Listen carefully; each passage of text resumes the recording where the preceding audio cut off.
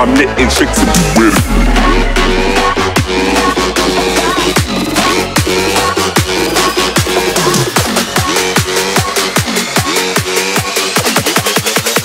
I'm lit and fixing bitches with it.